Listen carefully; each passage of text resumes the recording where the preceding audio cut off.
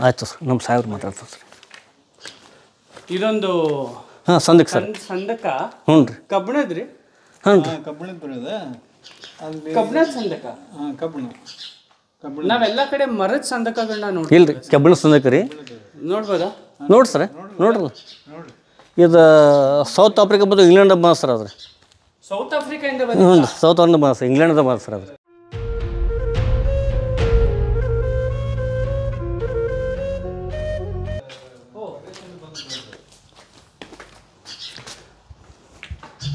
South Africa ಮತ್ತು England ರೀ. ಇದು ಸರ ಇದು ಕಿಲಿಯಾಕ ಹೋಗಿ ಸರ್ ಇದು ರೀ. ಇಲ್ಲಿ ಮೂರು ಲಾಕರ್ ಅದಾವ ಸರ್. ಲಾಕರ್ಸ್ ಟೈಪ್ ಇದೆ ಸರ್. ಇದ್ರ ಬಾಯ್ಬಿಗೆ ಅಲ್ಲಿ ಒಳಗೆ ತೋರ್ದು ತೋರ್ಸ್ ತೋರಿಸ್ತೀನಿ ನಿಮಗೆ ರೀ. ಬಾಗಿಲು ಐತೆ ಸರ್ ಒಳಗೆ ಬಾಗಿ ಬಾಯಿ ರೀ. ಇದ್ರ ಇದು ವಜ್ಜೆ ಸರ್ ಅಲ್ಲೇ ಹ್ಞೂ ಸರ್. ಹ್ಞೂ ಸರ್. ಪರ್ಪಸ್ಗೋಸ್ಕರ ಯೂಸ್ ಮಾಡ್ತಿದ್ರು ಇಂಥ ಕಬ್ಬಣದ ಸರ್ ಮಲ್ಯ ಸರ್ ಇದ್ರಾಗ ರೀ ಬಂಗಾರ ವಜ್ರ ಇರ್ತಕ್ಕಂಥ ವಸ್ತು ಸರ್ ಇದ್ರಿ ಇದ್ರಾಗ ಇದ್ರ ಇರ್ತದೆ ಎಲ್ಲ ಸರ್. ಬಂಗಾರ ಸಿದ್ದೇಶ್ವರ ಪೂಜೆದ್ದು ಸಾಮಾನು ಸರ್ ಇಲ್ಲ ಇದ್ರ ಇಡ್ತಂತೆ ಎಲ್ಲ ಸರ್. Okay okay. ಅದಕ್ಕೋಸ್ಕರ ಇಷ್ಟು ಸೇಫ್ಟಿ ಕಂದಕ. ಹ್ಞೂ ಹ್ಞೂ ಸರ್ ಹ್ಞೂ ರೀ ಇದನ್ನ ಇಂಗ್ಲೆಂಡ್ ಇಂದ ತರಿಸಿದ್ರು. ಹ್ಞೂ ಸರ್ ಹ್ಞೂ ರೀ ಅಲ್ಲೊಂದು ನೀಲ ಸರ್ ನೀಗಿಲ್ ರೀ ನೇಗಿಲು. ನೀಗಿಲ್ಲ ಮತ್ತು ಇನ್ನು ಕೂಡ ಎರಡು ಕೂಡ ಬಂದವ ಸರ್. ಯಾವ ನೇಗಿಲು? ಒಳ್ಳೆ ನೀರು ತೋರಿಸ್ತೀನಿ ಬರ್ರಿ ಸರ್. ತೋರಿಸ್ತಾನೆ. ಸಾಮಾನ್ಯ ಎಲ್ಲ ಪ್ರದೇಶದಿಂದ ಬರ್ತದೆ. ಹಾಲೆಂಡು ಡಚ್ ಆಮೇಲೆ ಇಂಗ್ಲೆಂಡ್ ಇಂದ ಬರ್ತಿದ್ವು ಓ ಅಷ್ಟೊಂದು ರೀತಿ ಇದ್ರು ಅವ್ರಿಗೆ. ಹಾಂ ನೋಡ್ಯಾರ. ತೋರ್ಸ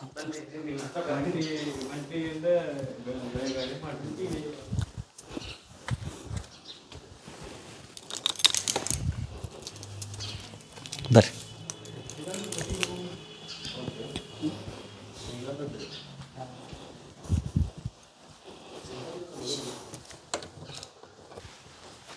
ಇದೆ ಸರ್ ನೀಗಿಲ್ ರೀ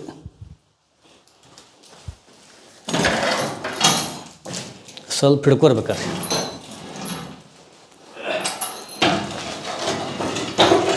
ಹ್ಞೂ ಎತ್ತಿಡ್ರಿ. ಮುಂದಕ್ಕೆ ರೀ? ತಡ್ರಿ ತೋರಿ.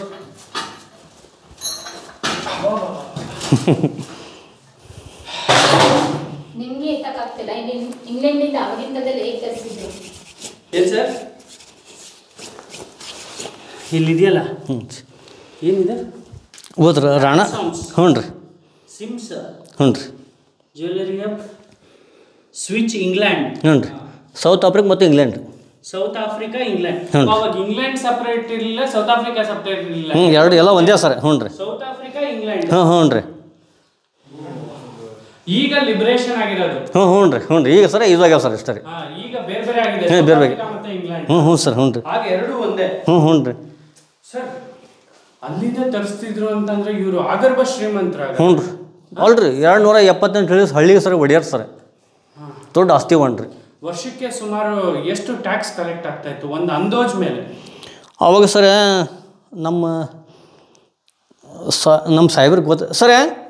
ಲಿಂಗರಾಜ ದೇಶಿಯವ್ರಿಗೆ ಹತ್ತು ಹಳ್ಳಿ ಉಳಿದಿದ್ವು ಉಂಬಳೆ ಕೊಟ್ಟದ್ದು. ಅದ್ರದ್ದು ವಾರ್ಷಿಕ ಇನ್ಕಮ್ ಇನ್ಕಮ್ ಐದು ಲಕ್ಷ ರೂಪಾಯಿ ಇತ್ತು.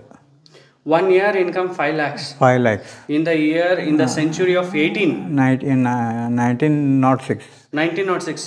ಹತ್ತೊಂಬತ್ ನೂರ ಆರರಲ್ಲಿ ಅಂದ್ರೆ ಹತ್ತೊಂಬತ್ತನೇ ಶತಮಾನದಲ್ಲಿ ಸ್ಟಾರ್ಟಿಂಗ್ ಅಲ್ಲಿ. ಹತ್ತೊಂಬತ್ತಾದ ಇಪ್ಪತ್ತನೇ ಶತಮಾನ ಹತ್ತೊಂಬತ್ತು ಅಂದ್ರೆ ಇಪ್ಪತ್ತಕ್ಕೆ ಬರುತ್ತೆ. ಮುಗಿದು ಹತ್ತೊಂಬತ್ತರ ಮುಗಿದು ಇಪ್ಪತ್ತನೇ ಶತಮಾನ. ಅಂದ್ರೆ ನೈನ್ಟೀನ್ ಹಂಡ್ರೆಡ್ಸ್ ಅಲ್ಲೇನೆ ಫೈವ್ ಲ್ಯಾಕ್ಸ್ ಅಂತ ಅಂದ್ರೆ. ಈಗಿನ ಐನೂರು ಕೋಟಿಗೆ ಸಮ? ಇರ್ಬೋದು. ಯಾಕೆಂದ್ರೆ ಮೋರ್ ದೆನ್ ಹಂಡ್ರೆಡ್ ಇಯರ್ಸ್ನ ಕಂಪ್ಲೀಟ್ ಮಾಡಿದೀವಿ ನಾವು ನೈನ್ಟೀನ್ ನಾಟ್ ಸಿಕ್ಸ್ ಇಂದ ಹತ್ತೊಂಬತ್ ನೂರ ಆರರಿಂದ ಎರಡ್ ಸಾವಿರದ ಆರು. ಹೌದು ಹೌದು ಹೌದು ಹೌದು. ಅಂದ್ರೆ ನೂರು ವರ್ಷ ಆಯ್ತು.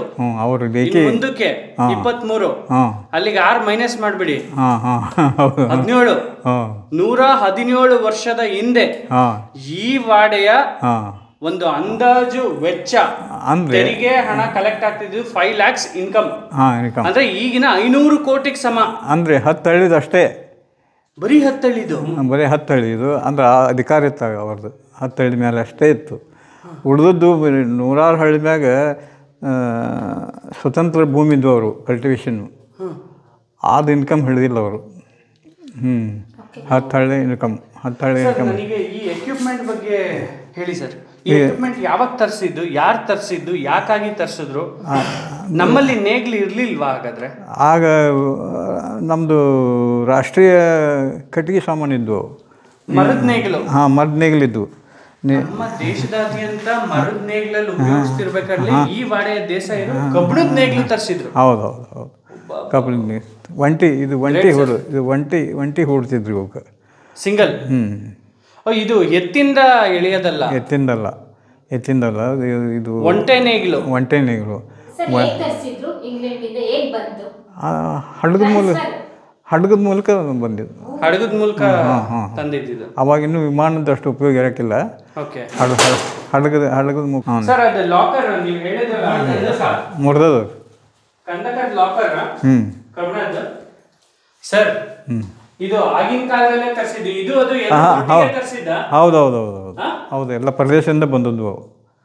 ಹಡಗ ಮುಖಾಂತರ ಬಂದವು. ಈ ಹಡಗ.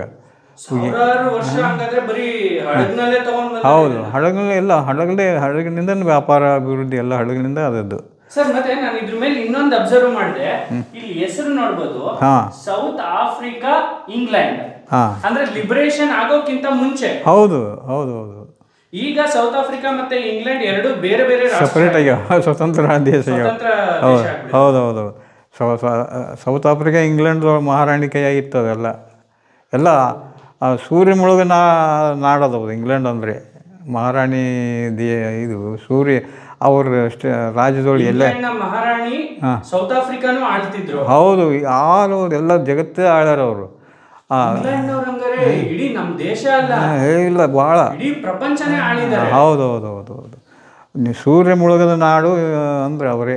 ಹ್ಞೂ ಹೌದು ಹ್ಞೂ ಎಲ್ಲರೂ ಒಂದು ಎಲ್ಲರೂ ಒಂದು ಇದ್ರಾಗ ಸೂರ್ಯ ಇದ್ದೇ ಇರ್ತಾನೆ ಅವ್ರ ಇದ್ರೊಳಗೆ ಬನ್ನಿ ಸರ್.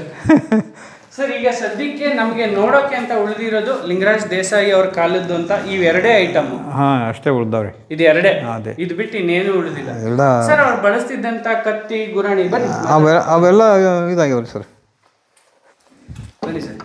ಲೂಟಾಗ್ಯಾವ ಎಲ್ಲ ತುಡುಗಾಗ್ಯಾವ ಲೂಟಾಗ್ಯಾವ ಓ ಸರ್ ಹುಷಾರಿ. ಇಲ್ಲ ಸ್ನೇಹಿತರೆ ಸಾವಿರದ ಒಂಬೈನೂರ ಆರರಲ್ಲಿ ಆಸ್ಪಾಸ್ನಲ್ಲಿ ಇದನ್ನ ಸೌತ್ ಆಫ್ರಿಕಾ ಇಂಗ್ಲೆಂಡ್ ಇಂದ ಹಡಗಿನ ಮೂಲಕ ತರಿಸಿದ್ದಾರೆ. ಇಲ್ಲಿ ನೋಡಬಹುದು ಇದರ ಒಂದು ಡೀಟೇಲ್ಸ್ ಕೂಡ ಇದೆ. ಇದು ಎಲ್ಲಿಂದ ತರಿಸಿದ್ದು, ಈ ಎಕ್ವಿಪ್ಮೆಂಟ್ ಏನ್ ಹೆಸರು, ಯಾವ ವರ್ಷದಲ್ಲಿ ತರಿಸಿದ್ದು, ಪ್ರತಿಯೊಂದು ಕೂಡ ಇದ್ರ ಮೇಲೆ ಹಾಕಿದ್ದಾರೆ.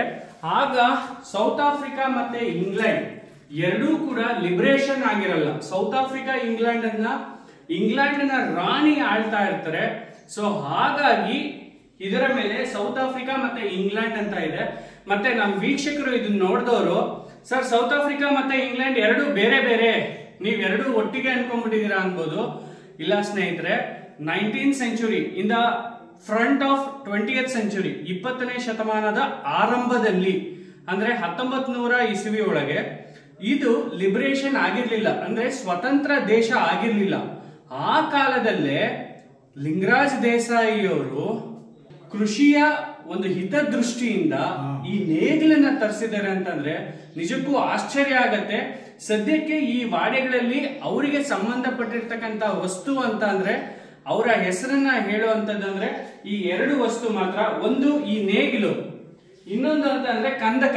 ನಾವ್ ಎಲ್ಲಾ ಕಡೆ ಸಾಮಾನ್ಯವಾಗಿ ಮರದ ಕಂದಕಗಳನ್ನ ನೋಡ್ತೀವಿ. ಆದ್ರೆ ಈ ವಾಡೆಯೊಳಗೆ, ಅಂದ್ರೆ ಈ ದೇಸಾಯಿ ಅವರ ವಾಡೆಯೊಳಗೆ ಕಬ್ಬಿಣದ ಕಂದಕವನ್ನ ನೋಡ್ತೀವಿ. ಮತ್ತೆ ಅದರ ಸೇಫ್ಟಿ ಎಷ್ಟಿತ್ತು ಅಂತ ಅಂದ್ರೆ, ಕಬ್ಬಿಣದ ಕಂದಕದ ಬರೀ ಮುಚ್ಚುವಂತಹ ಒಂದು ಪಾರ್ಟ್ ಏನಿದೆಯಲ್ಲ, ಈ ಪಾರ್ಟ್ ನೀವು ಏನ್ ನೋಡ್ತೀರಾ ಈ ಪಾರ್ಟ್? ಈ ಪಾರ್ಟ್ನ ಸಹಿತ ನಾವು ತೆಗಿಯೋದಿಕ್ಕಾಗಲ್ಲ. ಅಷ್ಟು ಗಟ್ಟಿಯಾಗಿದೆ ಮತ್ತಷ್ಟು ವೆಯ್ಟ್ ಇದೆ ಅದು. ಅದನ್ನ ತೆಗಿಯೋದಿಕ್ ಖಂಡಿತ ಸಾಧ್ಯ ಇಲ್ಲ. ಬನ್ನಿ ಸ್ನೇಹಿತರೆ, ಸಾಕಷ್ಟು ಲಿಂಗರಾಜ್ ಸರ್ ದೇಸಾಯಿ ಅವರ ಬಗ್ಗೆ, ಮತ್ತೆ ಈ ದೇಶಗತಿ ಮನೆತನದ ಬಗ್ಗೆ ಈಗಾಗಲೇ ಒಂದಷ್ಟು ಮಾಹಿತಿನ ಹಂಚ್ಕೊಂಡಿದ್ದಾರೆ. ಈ ಮನೆಯಲ್ಲಿ ವಾಸವಾಗಿರ್ತಕ್ಕಂಥ ಒಬ್ರು ಪೂಜಾರಿ ಅವರು, ಇಲ್ಲಿನ ಎಂಪ್ಲಾಯಿ ಅದರ ಜೊತೆಗೆ ಇಲ್ಲಿನ ವಾರಸುದಾರರು ಅಂತ ಹೇಳ್ಕೊಳ್ಳುವಂಥವ್ರು, ಮತ್ತೆ ಅವರ ನೇರ ಡಿಸೆಂಡೆಂಟ್ಸ್ ಯಾರು? ಲಿಂಗರಾಜ್ ದೇಸಾಯಿ ಅವರ ತಮ್ಮನ ವಂಶಸ್ಥರು ಯಾರಿದಾರೋ, ಅವ್ರ ಹತ್ರನೇ ಆ ಇದರ ಸಂಪೂರ್ಣ ಮಾಹಿತಿ ಮತ್ತೆ ಅವರ ದತ್ತಕ್ಕೆ ಇಲ್ಲಿ ಹೇಗೆ ಬರ್ತಾರೆ, ಇಲ್ಲಿನ ಪರಿಸ್ಥಿತಿ ಹೇಗಿತ್ತು, ಇದರ ಇತಿಹಾಸ ಏನು, ಸಂಪೂರ್ಣವಾಗಿ ಅವ್ರ ಹತ್ರ ಕೇಳಿ ತಿಳ್ಕೊಳ್ಳೋಣ, ಬನ್ನಿ. ಒನ್ ಸೆಕೆಂಡ್ ಇದು ತಗೋಬಿಡಿ ಮನೆಯದು ಅಲ್ಲಿಂದ ಬಂದ್ರಲ್ಲ, ಆಮೇಲೆ ತಗೋತೀರಾ? ಪ್ರಿಯ ವೀಕ್ಷಕರೇ, ನಮ್ಮ ಕರುನಾಡಿನ ಸಾಹಿತ್ಯ, ಸಂಸ್ಕೃತಿ, ವಿಶೇಷ ವ್ಯಕ್ತಿಗಳ ಸಂದರ್ಶನವನ್ನು ತಪ್ಪದೇ ವೀಕ್ಷಿಸಿ. ನಮ್ಮ ಚಾನಲ್ ಅನ್ನು ಸಬ್ಸ್ಕ್ರೈಬ್ ಮಾಡಿ, ಬೆಲ್ ಐಕನ್ನ ಕ್ಲಿಕ್ ಮಾಡಿ, ನಿಮ್ಮ ಅಭಿಪ್ರಾಯವನ್ನು ತಪ್ಪದೇ ತಿಳಿಸಿ. ಡಿಜಿಟಲ್ ಮಾಧ್ಯಮ ಎಲ್ಲಾ ಸಾಮಾಜಿಕ ಜಾಲತಾಣದಲ್ಲೂ ಲಭ್ಯವಿದೆ. ಸ್ವತಂತ್ರ ಪತ್ರಿಕೋದ್ಯಮವನ್ನು ಬೆಂಬಲಿಸಿ. ಧನ್ಯವಾದಗಳು.